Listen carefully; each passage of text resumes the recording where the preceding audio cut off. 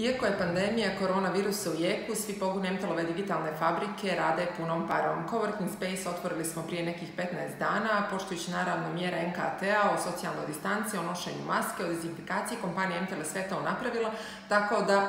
tako da MTL-ova digitalna fabrika može nesmetano da radi. U toku je naš projekat Startup Aktivator, koji MTL-ova digitalna fabrika organizuje zajedno sa Ministarstvom nauke i sa partnerima NVO Digitalizuj me, kao i ICT Hubom iz Beograda. Do sada su se sve radionice i svi meetupovi održavali online preko Zoom platforme kao što su svi radili, tako da su svi naši startupovci mogli i tokom korona viruse nesmetano da dobiju svu neophodnu edukaciju. Međutim, prvobitan plan je bio da demo day, odnosno finale programa, a kada će biti proglašena tri najbolja startupa od šest koji su sada ušli u uži krug, bude održan u julu, međutim ipak odluku smo pomjerili i odlučili da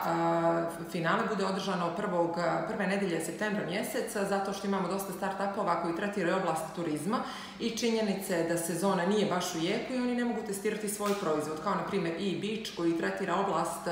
iznajmljivanja ležaljki i suncobrana, imamo Hungry Trsti koji tretira oblast dostavljanja hrane iz restorana, naročito na primorju, tako da smo im dali još dva mjeseca slobodna da mogu da razviju svoj proizvod, a u MTL-ovoj digitalnoj fabrici do tada ćemo organizovati brojne radionice za njih.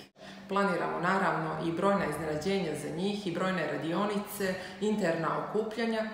Naravno, bit će zatvorenog tipa, nažalost, neće moći da prisustuje svako ko želi jer moramo poštovati mjere distance, tako da će se to održavati u digitalnoj fabrici, ali bit će samo za naše start-upovce kako bi mogli da iskoristimo kvalitetno prostor. Digitalizacija je doživjela svoj procvat, to je bilo pitanje trena kada će se desiti, a koronavirus je samo to ubrzala i pokazala da je put digitalizacije u stvari put budućnosti, a kompanija Entel sa svojom digitalnom fabrikom je već odavno na tom putu i mi smo već pokrenuli tu revoluciju u Crnoj Gori. Prvi, prva smo kompanija koja je imala plaćanje putem mobilnog telefona, potpuno beskontaktno plaćanje, popularni MP, zatim imamo digitalnu fabriku koja razvija start-upove i činjenice da će već za nekoliko godina imati start-up bukvalno za sve.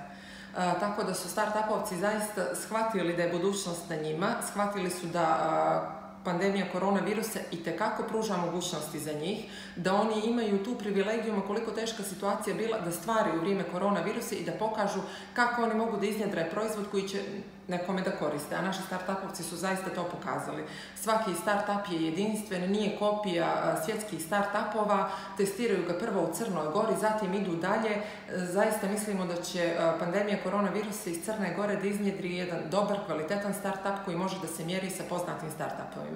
Mislim da u posljednja tri mjeseca smo vidjeli veću promjenu svijesti nego u posljednje tri godine. To je definitivno. Sve više mladih dolazi u MTL-ovu digitalnu fabriku, raspituje se za programe, akceleratorske i slično.